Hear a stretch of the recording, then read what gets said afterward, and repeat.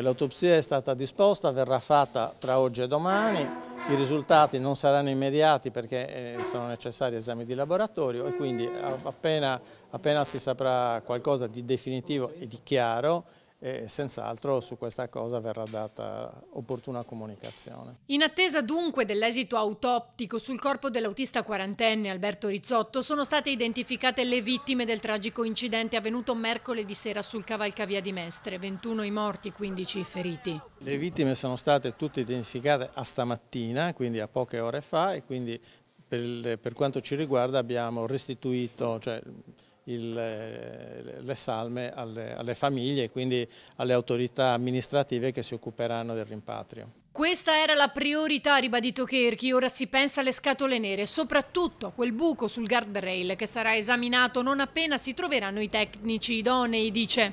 È sempre sotto sequestro, stiamo valutando l'ipotesi di fare una consulenza per valutare la, come era la situazione di fatto. Intanto, tra chi conosce bene gli autobus, la strada e soprattutto Rizzotto, definito scrupoloso e competente, sorgono dubbi sul fatto che prima di precipitare potrebbe aver incontrato un ostacolo sulla sua strada e proprio per evitarlo avrebbe sterzato. Un ostacolo luminoso, dice qualcuno, come questo.